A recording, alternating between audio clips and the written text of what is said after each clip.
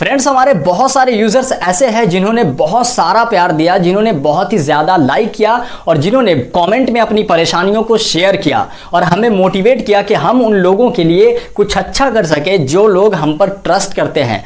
और बहुत सारे लोगों ने कॉमेंट किया कि, सर, आप ग्रैंड लीग की टीम के साथ साथ स्मॉल लीग का भी टीम प्रोवाइड किया करो। तो आज इस वीडियो में मैं आपको जो स्मॉल लीग टीम बनाने का तरीका बताने वाला हूँ ना, वो अगर आप अप्लाई करके अपना स्मॉल लीग का टीम बनाते हैं तो आप हमेशा ही नंबर वन रैंक पे रहोगे स्मॉल लीग में। आपको नंबर वन से नंबर टू रैंक पर भी कोई नहीं कर सकता है। So hey guys welcome back to your favourite channel logical fantasy trick और बिना किसी देरी के चलिए वीडियो को शुरू करते हैं और जानते हैं कि इस वीडियो में हम क्या क्या जानने वाले हैं। सबसे पहले इस वीडियो में हम जो आपको बताएँगे कि कैसा होना चाहिए आपके स्मॉल लीग का टीम कौन सा कॉन्टेस्ट आपको स्मॉल लीग में ज्वाइन करना चाहिए? और सबसे बड़ी बात, कि आपको स्मॉल लीग में अपना कॉन्टेस्ट कब ज्वाइन करना चाहिए? और ये बात जानने के बाद आप वीडियो को तो बिना लाइक किए रह ही नहीं सकते हैं गाइस दोस्तों मैं नहीं समझता हूँ कि आपको ये बताने की ज़रूरत है कि स्मॉल लीग होता क्या है। आप सारे यूज़र्स भली भांति इस, परिचित होंगे कि स्मॉल लीग एक्चुअली में होता क्या है। स्मॉल लीग एक से दस स्पोर्ट्स वाले कॉन्टेस्ट को बोला जाता है तो मेरा सबसे पहला पॉइंट ये है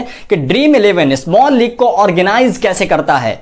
How small leagues organize by Dream Eleven दोस्तों, अगर आप स्मॉल लीग खेलते हैं तो आपने देखा होगा हेड टू हेड में तीन या चार मेंबर वाले कॉन्टेस्ट में, वहाँ पर जब आप टीम लगाते हैं तो वहाँ पर क्या होता है? ओपोनेंट टीम जो है उसका भी टीम सेम आपकी तरह ही होता है। आपके टीम के अकॉर्डिंग ही होता है। मतलब उसका टीम भी लगभग ऑलमोस्ट सेम होता है। कभी कभी टीम सेम होता है कैप्टन वाइस कैप्टन अलग होता है और समटाइम्स कैप्टन वाइस कैप्टन अगर सेम रहा तो टीम अलग होता है। और कभी कभी टीम भी सेम होता है और कैप्टन भी सेम होता है। सिर्फ़ वाइस कैप्टन डिफर होता है। तो आपको इससे क्या पता चलता है? इससे पता यह चलता है कि ड्रीम इलेवन हमें हिंट्स देता है कि हम आपके सामने वैसे खिलाड़ी को ही लाएँगे जो आपके मुकाबिल होगा, जो आपके लेवल का होगा। वो उसी तरीके के हमारे सामने ओपोनेंट को खड़ा करता है। मतलब ड्रीम इलेवन यहाँ पर ऐसा नहीं है कि शेर को बकरी के साथ लड़वाता है या फिर बकरी को शेर के साथ। ड्रीम इलेवन हमेशा बकरी को बकरी के साथ ही लड़वाता है और शेर को शेर के साथ ही लड़वाता है। मेरे कहने का सेंस ये है कि जिस लेवल का आपका टीम होगा, आपके सामने वैसा ही टीम ड्रीम इलेवन देता है। यही कारण है कि स्मॉल लीग टीम कभी सेम दिखता है, कभी कैप्टन वाइस कैप्टन सेम होता है और कभी वाइस कैप्टन का सिर्फ़ डिफर होता है। मतलब कि सिर्फ़ एक या दो प्लेयर मात्र चेंज होता है तो हमें इसी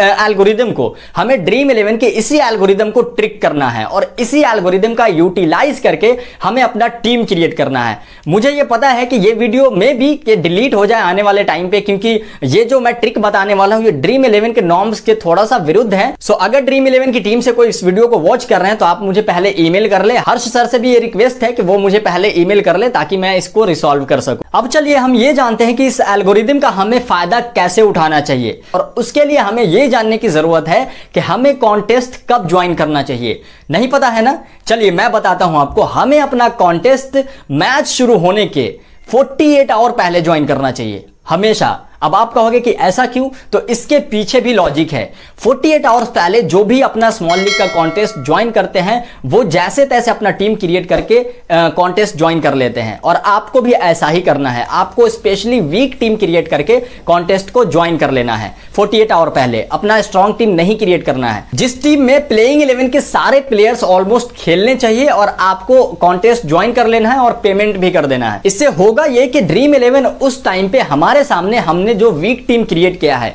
उसके अकॉर्डिंग ओपोनेंट को लाके रख देगा, यानी हमारा जो ओपोनेंट होगा, वो बिल्कुल वीक ओपोनेंट होगा। और इससे फ़ायदा क्या होगा, मैं आपको बताता हूँ। अब हमें हमारा ओपोनेंट मिल चुका है 48 आवर्स पहले जो हमने कॉन्टेस्ट ज्वाइन किया है, उसके अकॉर्डिंग हमें अपना ओपोनेंट मिल चुका है। अब इससे फ़ायदा ये होगा कि मे बी पॉसिबल लाइनअप के बाद आपका ओपोनेंट जो है, वो अपना टीम सुधार नहीं सका। तो इससे फ़ायदा यह होगा कि आ और आप जाके अपना टीम सुधार लेते हो तो वहाँ पर आपका जो ओपोनेंट है तो वो वो तो वैसे ही ऑलरेडी वीक टीम लगाया है तो वो ऑलरेडी वीक रह गया। दूसरा फ़ायदा यह है कि अगर लास्ट में उस ओपोनेंट को यह याद भी आता है कि अरे टीम सुधारना है और वो जाके अपना टीम सुधार भी लेते हैं तो जल्दी जल्दी के चक्कर में वो एक यूनिक टीम नहीं क्रिएट कर पाएगा। और फिर भी जो है आपके टीम के मुकाबले उसका टीम वीक ही रहेगा। अभी भी सेम डे में, यानी जिस दिन मैच होने वाला है, उस दिन आपको कॉन्टेस्ट नहीं ज्वाइन करना है। इसके पीछे बहुत बड़ा रीजन है, वो ये कि सेम डे में ड्रीम इलेवन पे, खासकर स्मॉल लीग में, वो लोग कॉन्टेस्ट ज्वाइन करते हैं, जिनका स्किल स्मॉल लीग में बहुत हाई होता है। हमसे बहुत बेहतर वो लोग होते हैं। वैसे लोग सेम डे में आके कॉन्टेस्ट ज्वाइन करते हैं तो आपको अपना टीम या तो 48 आवर पहले ज्वाइन करना है, या फिर लाइनअप के बाद लाइनअप के 20 मिनट के बाद। मैच शुरू होने के 10 मिनट पहले ज्वाइन करना है, क्योंकि 10 मिनट पहले तक जो भी हाई स्किल वाले लोग होते हैं, वो अपना टीम क्रिएट कर चुके होते हैं। और आपके सामने जो ओपोनेंट होता है, वो जल्दबाजी वाला ओपोनेंट ही सिर्फ़ रह जाता है। स्मॉल लीग खेलने के लिए जो दूसरा पॉइंट है, वो है कि कौन सा कॉन्टेस्ट आपको ज्वाइन करना चाहिए।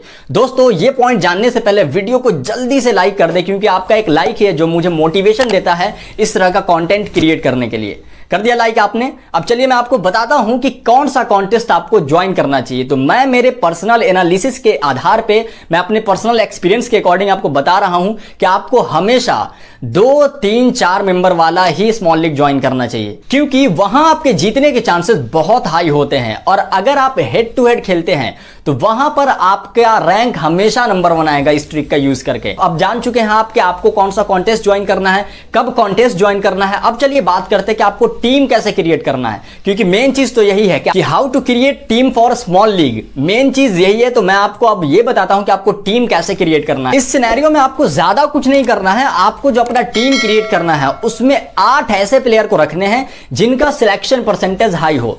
मोस्ट प्रोबेबली कि आपके ओपोनेंट की टीम में भी ऐसे ही आठ प्लेयर हो जिनका सिलेक्शन परसेंटेज हाई हो। अब तीन प्लेयर का आपको भर भर के यहाँ पे एनालिसिस करना है और बहुत अच्छे से रिसर्च करना है। और उस तीन प्लेयर में आपको मोस्टली बॉलर और ऑलराउंडर को लेके चलना है।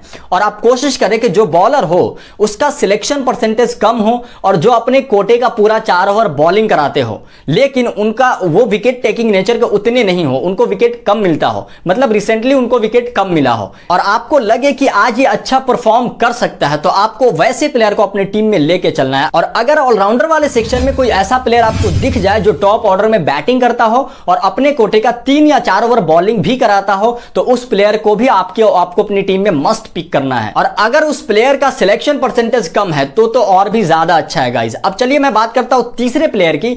तीसरा प्लेयर आपको कैसा लेना है? अब तीसरा प्लेयर जो आपको प्रेफर करना है, वो करना है बैटिंग सेक्शन से। मतलब वैसा बैट्समैन जो चार या पाँच नंबर पर बैटिंग आता हो और जो रिसेंटली इन्फॉर्म हो। और जिनको सारे लोग ये सोच के इग्नोर कर रहे हो कि क्या पता इनकी बैटिंग आए ही नहीं। तो वैसे प्लेयर को आपको अपनी टीम में प्रेफर करना है, खासकर फ़र्स्ट इनिंग में आपको वैसे प्लेयर को लेना ही है, क्योंकि मोस्टली जो है फ़र्स्ट इनिंग में ये देखा गया मैक्सिमम बार जो बैट्समैन चार या पाँच नंबर के होते हैं, उन्हें फ़र्स्ट इनिंग में बैटिंग मिल ही जाता है। अब हम अपना टीम भी क्रिएट कर चुके हैं। तो अब बात आती है कि आपको कैप्टन और वाइस कैप्टन कैसे चुनना है? तो कैप्टन वाइस कैप्टन चुनने के दो तरीके हैं यहाँ पर। सबसे पहला, कि आपको अपना कैप्टन उसे लेकर चलना है जिसको सारे लोगों ने कैप्टन बना रखा है, जिसका selection percentage captaincy selection percentage सबसे ज़्यादा हो। उसे आपको कैप्टन बना लेना है, लेकिन वाइस कैप्टन आपको उसे बनाना है जिसके पास अपॉर्चुनिटी हो कुछ बड़ा करने का। जो रिसेंटली एवरेज प्लेयर हो रिसेंटली एवरेज प्लेयर से मेरा सेंस ये है कि जो हर मैच में कुछ ना कुछ पॉइंट्स देकर चलता हो। भले वो ड्रीम टीम का मेंबर ना हो, लेकिन कुछ ना कुछ पॉइंट्स देकर चलता हो। या आप उस बॉलर को अपना वाइस कैप्टन बना सकते हैं जो हर मैच में लगभग एक विकेट लेता ही हो। कंसिस्टेंसी के साथ, उस बॉलर के साथ भी आप वाइस कैप्टन के लिए जा सकते हैं। क्योंकि टी ट्वेंटी फॉर्मेट में सबसे ज़्यादा पॉइंट्स आपको बॉलर ही दिलवाते हैं। और खासकर आपको उस बॉलर को प्रेफर करना है जो डेथ में बॉलिंग करता। और अगर इस तरीके से आप अपना टीम क्रिएट करते हैं, ये टीम बिल्कुल यूनिक क्रिएट होगा। और अगर आपने ये सब चीज़ अप्लाई करके टीम क्रिएट किया तो आपको एक नंबर से दो नंबर पर भी कोई नहीं कर सकता। है। I guarantee you guys surety दे रहा हूँ मैं आपको कि आप इस तरीके का यूज़ करें, अपना टीम क्रिएट करें और आप देखिए स्मॉल लीग में हमेशा ही विन करोगे। अब दूसरा जो तरीका है कैप्टन वाइस कैप्टन बनाने का तो मोस्टली फैंटासी खेलने वाले अपने स्मॉल लीग टीम का कैप्टन उसे बना देते हैं जो पिछले मैच में बहुत अच्छा परफॉर्मेंस किया होता है और जो प्लेयर ड्रीम टीम का कैप्टन भी रह चुका होता है। और फैंटासी में अक्सर देखा गया है कि जो प्लेयर अपने पिछले मैच में ड्रीम टीम का कैप्टन रह चुका है, वो अपने अगले मैच में एक एवरेज परफॉर्मेंस देकर ही जाता है या फिर कुछ कर नहीं पाता है। तो आपको कैप्टन उसे नहीं बनाना है जो पिछले मैच में ड्रीम टीम का कैप्टन रह चुका है, बल्कि आपको उसे कैप्टन बनाना है उस प्लेयर को जो प्लेयर कंसिस्टेंसी के साथ एक एवरेज पॉइंट देता आ रहा हो। आप अपनी टीम में उसे कैप्टन बनाए, ना कि उसे कैप्टन बनाए जो अपने रिसेंट मैचेस में ड्रीम टीम का कैप्टन रह चुका हो। क्योंकि हाई चांसेस होते हैं कि वो ड्रीम टीम का कैप्टन इस मैच में अच्छा परफॉर्मेंस ना कर पाए। अगर आप फैंटासी खेलते हो तो आप इस लॉजिक का एनालिसिस कर सकते हो ड्रीम इलेवन पर जाके ड्रीम इलेवन पे सर्च करके, वहाँ देख सकते हो आपके जो प्लेयर अपने एक मैच में ड्रीम टीम का कैप्टन रह चुका है, क्या वो अपने अगले मैच में अच्छा परफॉर्मेंस कर पाया है? आप बिल्कुल ऐसा ही पाएँगे गाइज़ जैसा मैं अभी आपको बता रहा हूँ, क्योंकि ये एक बहुत डीप एनालिसिस के बाद मैं आपको बता रहा हूँ। और जब आप ये ड्रीम इलेवन पर जाके ये एनालिसिस कर ले और आपको इस लॉजिक पर अगर यकीन आ जाए तो इस लॉजिक को आप अपना टीम बनाने में ज़रूर अप्लाई करना गाइज़ दोस्तों, अगर आप अपना स्मॉल लीग का टीम इस तरीके से क्रिएट करते हैं और स्मॉल लीग का कॉन्टेस्ट ज्वाइन करते हैं तो आप हमेशा प्रॉफिटेबल साबित हो गए। आई होप गाइज़ आपको ये वीडियो बहुत अच्छा लगा हो। अगर आपको वीडियो अच्छा लगा हो तो एक लाइक ज़रूर करके जाना। साथ में कमेंट सेक्शन में अपना फीडबैक ज़रूर देना कि वीडियो आपको कैसा लगे। और मैंने जो बीच में बोला है कमेंट करें कि क्या ऐसा होता है कि नहीं होता है जो मोस्टली लोग कैप्टेंसी के साथ जाते हैं उसके लिए तो ज़रूर कमेंट करेगा इस सो मिलते हैं हम आपसे अगली वीडियो में ऐसे ही फैंटासी लॉजिकल ट्रिक के साथ। I hit the function, hit the road night till I hiccup. I hit the stage and leave with money that's extended.